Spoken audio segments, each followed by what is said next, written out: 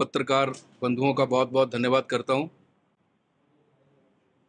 कि बड़े छोटे से नोटिस में आपने हमारी प्रार्थना स्वीकार कर यहाँ आना निश्चित किया है। इसका उन्हें बहुत बहुत धन्यवाद। आज जिला चंबा का भारतीय जनता पार्टी की नवनियुक्त कार्यकारिणी की पहली बैठक आज हुई। और ये एक परिचयात्मक बैठक थी। सभी कार्यकर्ता मित्रों से बैठ के बातचीत हुई और मैं बधाई देना चाहता हूँ। जिला चंबा के नवनियुक्त अध्यक्ष भाई धीरज नरियाल जी का, कि उन्होंने जो अपनी कार्यकारिणी का गठन किया है, उसमें पुराने कार्यकर्ताओं को भी लिया है और नए जोश को भी लिया है। तो आ, इस बार की जो कार्यकारिणी है उसमें जोश और होश का मिश्रण है जो आने वाले समय में जिला चंबा में भारतीय जनता पार्टी को संगठनात्मक रूप में भी और जो आने वाला लोकसभा चुनाव है उसके लिए भी जिला चंबा में भारतीय जनता पार्टी का संगठन में भी और चुनाव में भी परचम लहराएगी। ऐसा मैं आप सब पत्रकार मित्रों के माध्यम से ये संदेश देना चाहता हूँ कि ये होकर रहेगा। और आज की बैठक का जो मुख्य मुद्दा था, अगले कल पहली सितंबर से लेके पंद्रह सितंबर तक राष्ट्रीय नेतृत्व के आह्वान पर पूरे देश में भारतीय जनता पार्टी एक अलग सा, अनूठा और अनुपम कार्यक्रम शुरू करने जा रही है। वो है मेरी माटी, मेरा देश।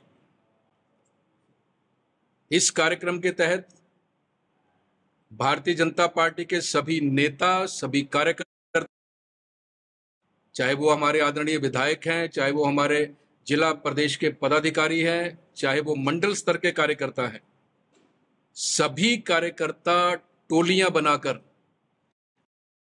जाकर दस्तक देंगे। जिन शहीदों ने इस देश की एकता अखंडता को अक्षुण रखने के लिए, इस देश के आदरणीय प्रधानमंत्री जी ने दिल्ली और वो अंतरिम अमृत बन के प्रति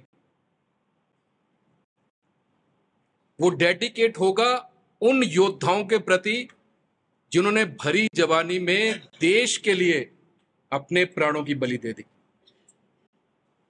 और भारतीय जनता पार्टी के शीर्ष नेतृत्व ने यह निर्णय किया है कि हर घर से पूरे देश में वो जो अमृत बन बनेगा हर घर से हर घर से उस घर की पवित्र जो मिट, मिट्टी है एक चुटकी मिट्टी लेकर उस मिट्टी को कलश में भर के पूरे हिमाचल प्रदेश में पहली सितंबर से लेके 15 सितंबर तक एक अभियान चल रहा है।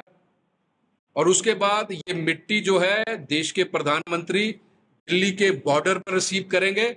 और वो जो मिट्टी है, वो जो अमृत बन दिल्ली में बन रहा है, वो मिट्टी उस अमृत बन का हिस्सा होगी। ये एक ऐसा अनुपम, अनूठा कार्यक्रम जो है, भारतीय जनता पार्टी में पूरे देश में चलाने का निर्णय किया है। ताकि इस देश के जनमानस को लगे जो शहीदों के प्रति इस देश के प्रधानमंत्री के मन में श्रद्धा है, सम्मान है, और वो जो अमृत बन बन रहा है, उसमें पूरे देश के जो नागरिक हैं, उनके घर की पवित्र मिट्टी भी शामिल हो। ये कार्यक्रम जो है, इस कार्यक्रम की एक रूपरेखा तैयार करने के लिए आज जिला चंबा की बैठक बुलाई गई थी। अगले कल से ये कार्यक्रम पूरे ज़ोर शोर से शुरू होने जा रहा है। और ये तीन चरणों में कार्यक्रम चलेगा। अभी पहले, पहली से पंद्रह सितंबर तक हम उस मिट्टी को इकट्ठा करके दिल्ली तक पहुंचाएँगे। उसके बाद का जो अगला कार्यक्रम है, जो वो अगला निर्देश जो प्रदेश की तरफ़ से आएगा, केंद्र की तरफ़ से आएगा, उसको भी हम आप सबके बीच में साझा कर लेंगे। एक तो ये आज की बैठक का मुद्दा था।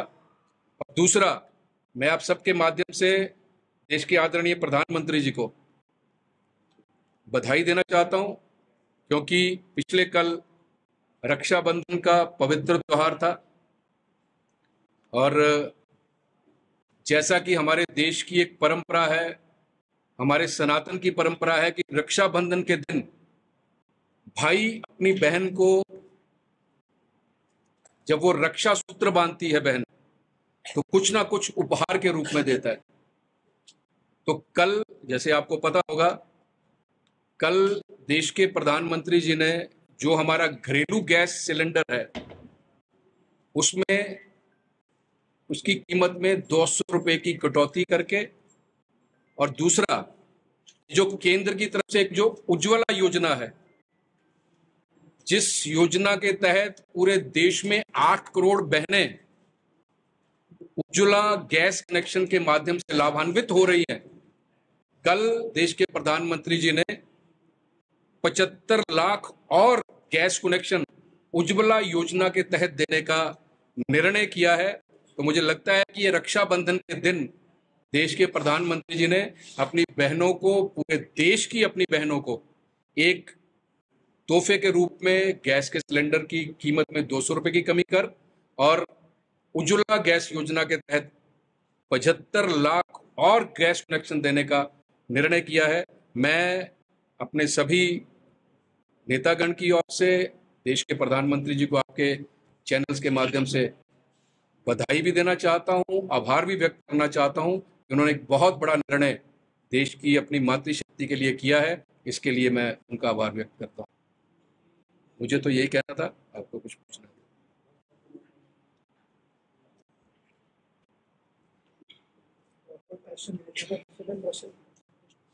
सर एक चीज़ ये आपने बताई कि भी ये भाई ने बहन को एक दी है तो ये चार साल के बाद ये क्या मतलब क्या सोचा जाए इसको कि इलेक्शन आए तब हुआ या?